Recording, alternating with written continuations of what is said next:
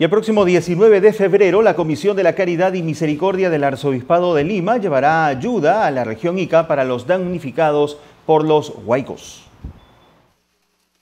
Los miembros de la Comisión de la Caridad y Misericordia del Arzobispado de Lima se han dispuesto a llevar esperanza, alegría y amor a los damnificados de los huaicos que hasta el momento han afectado a más de 40.000 familias al interior del país.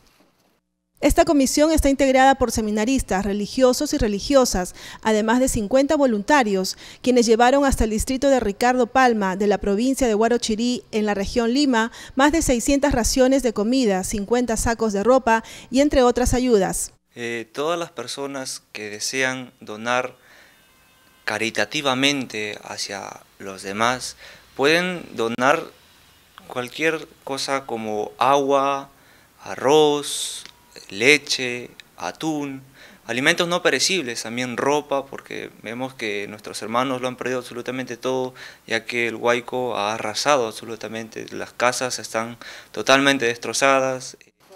El próximo 19 de febrero, ellos partirán llevando todo lo que logren recolectar para los damnificados de los huaicos provocados por las constantes lluvias en la región Ica.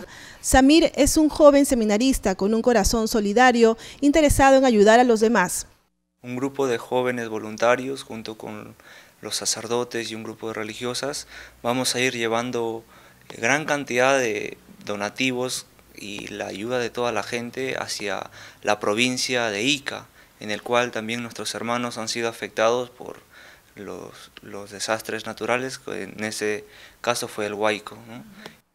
A los 12 años tuvo que afrontar un difícil momento en su vida. El terremoto de 2007 arrasó con su casa. Desde entonces fue sembrando en el corazón amor hacia los demás. Surgió la, idea de mi familia, ¿no? de poder ayudar, a pesar de que mi casa también estuvo destrozada y, y pues nunca faltó ese granito de arena, ¿no? a pesar de haberlo perdido todo. Las donaciones se pueden entregar de lunes a viernes en las parroquias de la Arquidiócesis de Lima y en la Vicaría de la Caridad.